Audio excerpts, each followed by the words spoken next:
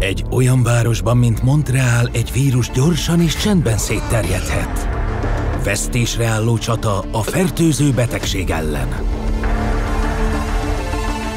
Még mielőtt bárki is észrevenné a létezését.